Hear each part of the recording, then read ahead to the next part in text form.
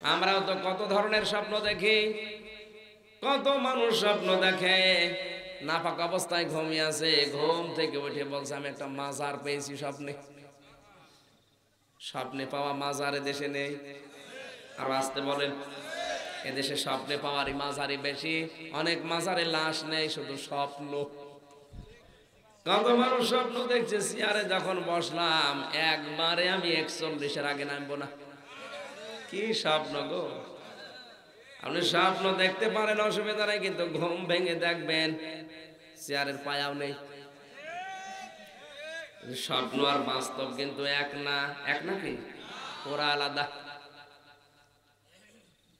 স্বপ্নে অনেক কিছু দেখতে পারেন, কিন্তু ওটা আপনি তো সাধারণ মানুষ, নবী না, ওটা তো ওহি না। কিসের স্বপ্ন দেখে আপনি আন্দাজে বিভর হয়ে আছেন?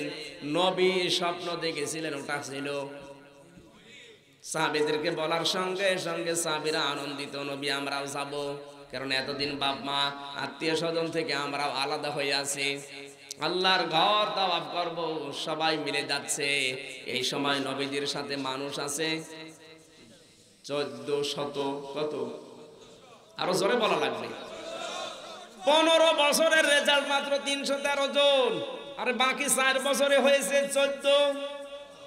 তাহলে আল্লাহর সাহায্য আসতে শুরু করেছে না করে নাই?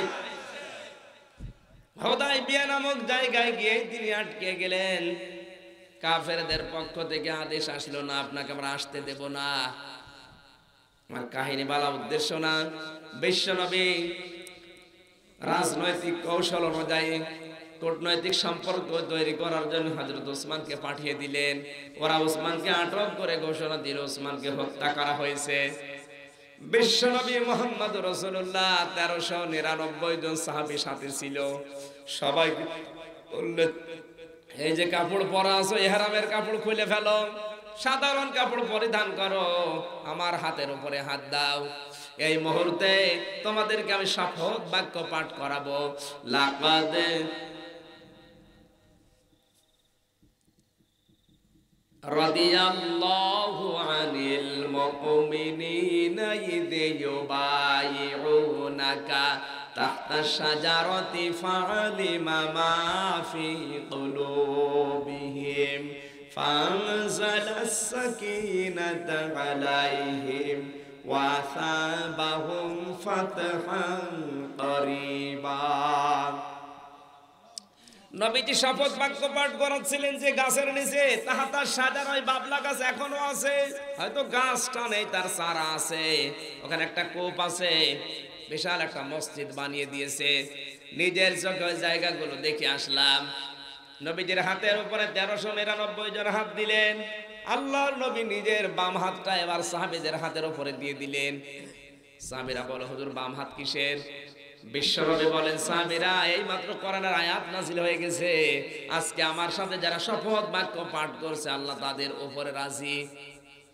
শুধু রাজি না, তাদের উপরে রহমত নাজিল করছেন আল্লাহ। হজরত উসমান যেহেতু আমাদের ভেতরে নেই, আমি তার পক্ষ হয়ে বাম হাতটা দিয়ে দিলাম। আমার আল্লাহ যেন উসমানের উপর রাজি হয়ে যায়। আল্লাহ কখন রাজি হলেন? একটা বিনা অপরাধে মানুষকে ওরা আটক করে ঘোষণা দিয়েছে, হত্যা করা হয়েছে। নিয়র অপরাধ মানুষের পক্ষে তেরোশো নিরানব্বই জন জীবন দেওয়ার জন্য যখন দাঁড়িয়ে গেছে, তখন আল্লাহ তাদের উপরে রাজি হয়েছে। কথা বলে না কেন? আজ যদি একটা মানুষের অধিকার রক্ষা করার জন্য তেরোশো নিরানব্বই জন না, সতেরো কোটি মানুষকে জীবন দেওয়া লাগে আর নবীর ওই তাহাতার সাজারাতে বাবলা গাছের নিচের মতো যদি আপনি বায়াত নিতে পারেন, দেশ রক্ষা করার জন্য, স্বাধীনতার জন্য, ইসলামের জন্য, মানবতার জন্য, মানুষের জীবন মাল, ইজ্জত হেফাজতের জন্য আজও আমার আল্লাহ আপনার উপরে বেহুদাই বিয়ার মতো রাজি হয়ে যাবে এইটার নাম ইসলাম। ওরা সংবাদ পেয়েছে ওরা তেরোশো নিরানব্বই জন জীবন দেওয়ার জন্য বায়াত নিচ্ছে। ভয়ের চোটে উসমানকে ছেড়ে দিয়েছে। হোদাইবের এই শিক্ষাটা যদি আজ আমরা বাংলার মুসলমানেরা নিতে পারতাম আমাদের অধিকার পৃথিবীর কেউ নষ্ট করতে পারতো না। উনিশ বছরের রেজাল্ট কতজন? আরও জোরে বলেন চোদ্দশো জন। উনিশ থেকে এবার ষষ্ঠম হিজড়ি এরপরে অষ্টম অষ্টম হিজরিতে বিশ্বনবী মোহাম্মদ রসুল্লাহ সাল্লাহ সাল্লাম এসেছিলেন মক্কা বিজয় করার জন্য। সাথে ছিল দশ হাজার, কত? সবাই বলা লাগবে। এরপরে গেল নবম হিজরি, আবু বকর সিদ্দিক রাজি আল্লাহ তালহুকে আমিরুল হজ বানিয়ে নবীজি হজ করতে পাঠালেন। দশম হিজরিতে বিশ্বনবী বিদায় হজের ভাষণ দিলেন। তার সামনে ওই সময় ছিল এক লক্ষ চোদ্দ হাজার সাহাবি। কয় বছরের ব্যবধান? ছয় থেকে সাত, আট, নয়, দশ, চার বছর। চার বছরে যেখানে চোদ্দশো ছিল, সেখানে চার বছরের ব্যবধানে মানুষ হয়ে দাঁড়িয়েছে বিদায় হজের ভাষণে নবীর সামনে এক লক্ষ। আরও জোরে। নবী জয় সময় কি বললেন? শেষ কথা। তারাক তফিক মামরাইন, দুইটা জিনিস রেখে গেলাম। লাং তাদিল্ল পথ হারাবে না না খেয়ে থাকবে না মায়ের খাবে না, লাঞ্ছিত হবে না। কি করলে? মা তামাসাকতুম বিহিমা কিতাবুল্লাহি ওয়া সুন্নাতু রাসূলি। যদি আল্লাহর কোরআন কিতাব আঁকড়িয়ে ধরো, আর আমার সন্নাকে যদি অনুসরণ করে চলো, কোনোদিন তোমরা মায়ের খাবে না। অমুসলমানেরা ওই সময় নবীজির সামনে আবু বকর, ওমর, উসমান ছিল না।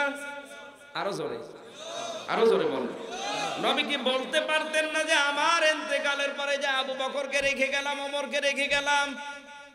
বলতে পারতেন না? তাদের নাম না বলে নবী কেন বললেন, তোমাদের সামনে আমি কোরআন আর আমার সন্না রেখে গেলাম। বলেন।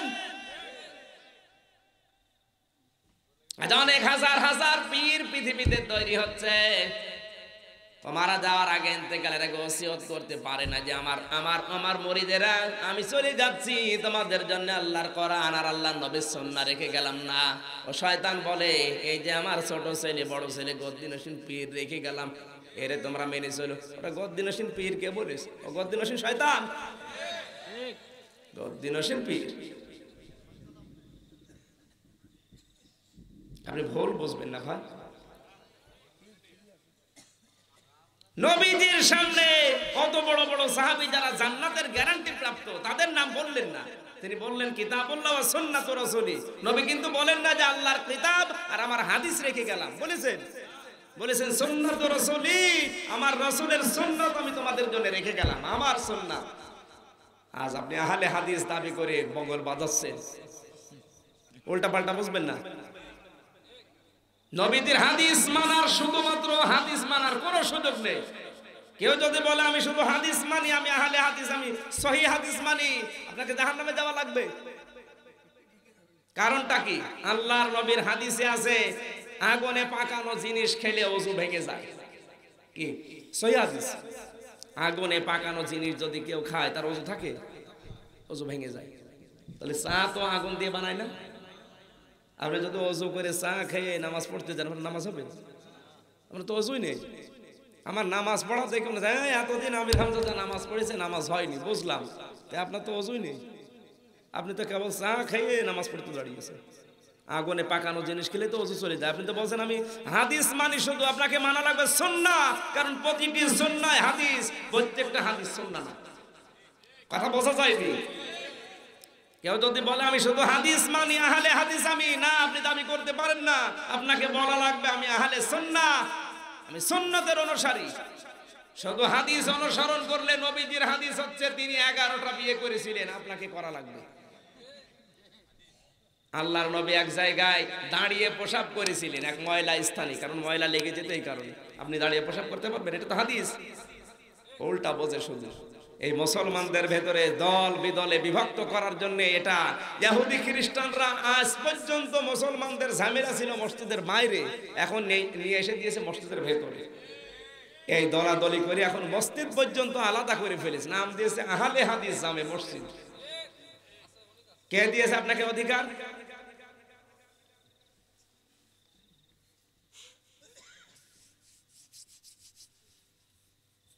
নবীজি বলেন, আমি দুইটা জিনিস রেখে গেলাম আমার তুমি তোমার ছেলেকে রেখে যাও।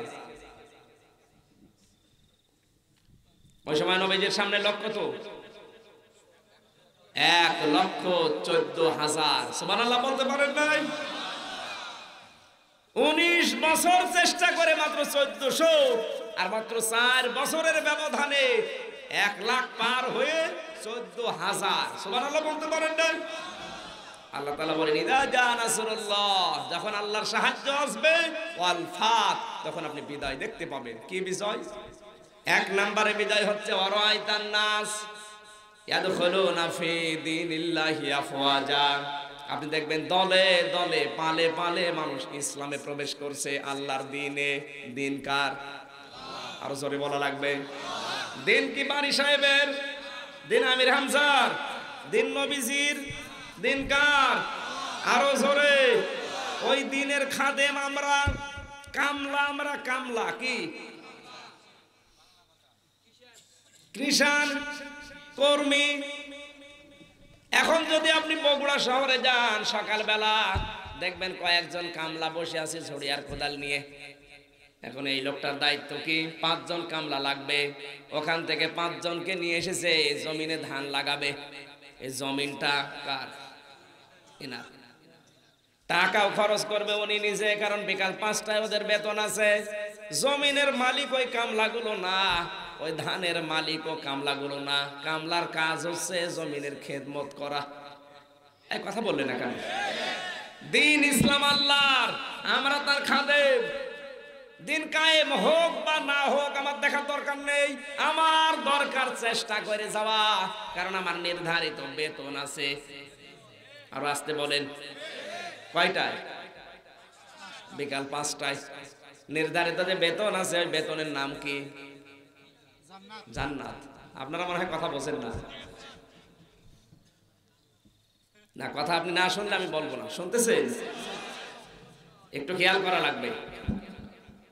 ধান প্রায় লাগানো হয়ে গেছে এনার জমিনে, মাত্র আর দশ মিনিট বাকি আছে। হঠাৎ করে কয়েকটা মস্তান এসে ধানগুলো তুলে ফেলছে। অন্তত যারা কামলা আছে, কৃষাণ আছে, কর্মী যারা আছে, দায়িত্বে যারা আছে, এ দশ মিনিট পর্যন্ত বলবে, ভাই, আপনি এখনই তুলতে পারবেন না, কারণ আমরা দায়িত্বে আছি। জীবন চলে গেলেও আমরা এই ধান পাহারা দেব নাকি? কারণ এই ধান পাহারা দেওয়ার কারণে আমাদের বেতন হবে কয়টায়? আপনি যদি তোলেন, আমাদের দায়িত্ব পালন করার পরে তুলবেন। এখন আপনাকে তুলতে দেব না। এর পরেও যদি তুলে ফেলে, আপনার যদি সমর্থের বাইরে চলে যায়, আপনি দরকার আর কিছু বলবেন না, ঠিক আছে? কিন্তু আপনার যা রাগ হচ্ছে, আপনার যা ক্ষতি হচ্ছে, আপনার যা লস হচ্ছে, তার চাইতে বেশি লস বেশি ক্ষতি, বেশি রাগ এই লোকটার। কারণ জমিন ওর, টাকা খরচ হচ্ছে ওর, আপনার আর কি আপনার তো বেতন আছে। কথা বলতে লাগবে। হ্যাঁ এখন ধানগুলো তুলে ফেলছে, আর দশ মিনিট হলেই ধান লাগানো শেষ। এরপরেও যদি বাড়ি সাহেব কিছু না বলে, ওনার কিন্তু শক্তি আছে, সামর্থ্য আছে, উনি উপরে কল দিয়ে, পুলিশ ডাক দিয়ে হয়তো ওদের গ্রেপ্তার করাতে পারে। তারপরেও কিছু বলছে না। বুঝতে হবে, কিছু যদি না বলে, তাহলে ওনার আর একটা রহস্যর ভেতরে আছে। নাকি? আপনি আল্লাহর জমিনে আমরা দিন কায়েমের জন্য চেষ্টা করে যাব। কায়েম যদি নাও হয়, অসুবিধা নেই, আমার তো বেতন পাঁচটায় নির্ধারিত আছে। আর আপনি যদি বাধা দেন, দিন প্রতিষ্ঠিত হতে না দেন, আপনাকে কিন্তু আল্লাহ টাইট করতে পারে না পারে না। এরপরেও যদি আল্লাহ কিছু না বলে, বুঝতে হবে আল্লাহর একটা উদ্দেশ্য আছে। উনি যদি কিছু না বলে ক্ষমতা থাকার পরে ওনার উদ্দেশ্য কি? হয়তো সামনাসামনি কিছু বলছে না, গোপনে গ্রেপ্তার করিয়ে রিমান্ডে নিয়ে তখন ফাঁসিও দিতে পারে। আল্লাহ পাক যদি ডাইরেক্ট কিছু কাউকে না বলে ইসলামের বিরুদ্ধে থাকার পরেও বুঝতে হবে আল্লাহর একটা ষড়যন্ত্র গোপন আছে, কৌশল আছে। হয়তো এখন কিছু বলছে না, কিন্তু যেদিন ধরবে, বাপ বলার সময় দেবে না। দিন কায়েম না হলেও আমাদের অসুবিধা নেই, আমাদের কাজ হচ্ছে আমরা কামলা, আমরা কৃষাণ, আমরা কর্মী, আমরা খাদে যতদিন জীবন আছে, আসরের নামাজ পর্যন্ত আমাদের কাজ করে সবাই লাগবে। কায়েম হলে ভালো, না হলে বেতন আছে। কথা বলেন না কেন?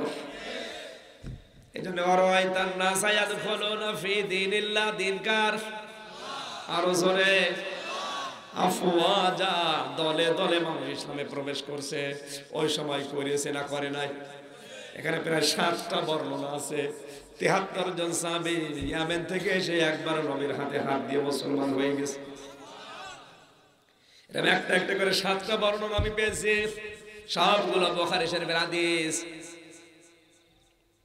এই আয়াতের এগেনস্টে আরেকটা আয়াত আমি পেয়েছি। যদিও আয়াত না, ওটা আছে। আল্লাহর নবী বলেন, আমার তো আশঙ্কা আছে।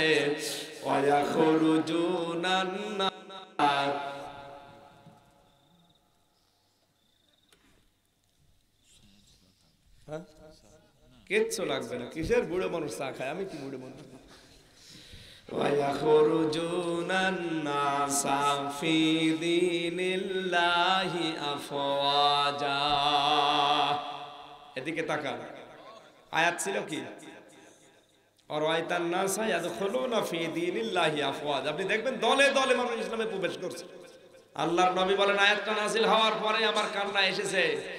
কারণ আমি আর তো আশঙ্কা হচ্ছে, এমন সময় আনবে, দলে দলে দলে দলে মানুষ ইসলাম থেকে বের হয়ে যাবে, সেই সময় এখন। আজ ইসলাম থেকে মানুষ দলে দলে, দল বিভক্ত হয়ে বের হয়ে যাচ্ছে। এক একজন এক এক নাম নিয়ে মনে করছে, আমি সঠিক আর ওগুলো ভুল। কত কথা আছে, এক একটা শব্দের ভেতরে। বারোটার পরে তো কথা বলা ঠিক না এই জন্য আমার আর মন চাচ্ছে না। শেষ করে দে। আরে ভাই, আমি ঘুমাবো না? না না না, করেন এই আয়াত শেষ করতে হলে অনেক সময় লাগবে।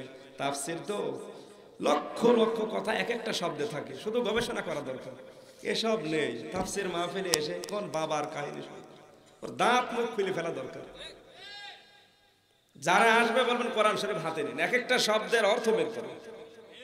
তাফসিরের নাম বলে বলে গবেষণামূলক ভাবে আমাদেরকে বোঝান ওই বাপ দাদার কিচ্ছা কাহিনী শোনার জন্য আমরা বসিনি বলতে পারবেন না দেখবেন শিরিক বেদাত দূর হয়ে যাবে আল্লাহ তুমি আমাদের তৌফিক দাও اللهم آمين ربنا آتنا في الدنيا حسنة وفي الآخرة حسنة وقنا عذاب النار وادخلنا الجنة مع الأبرار يا عزيز يا غفار يا رب العالمين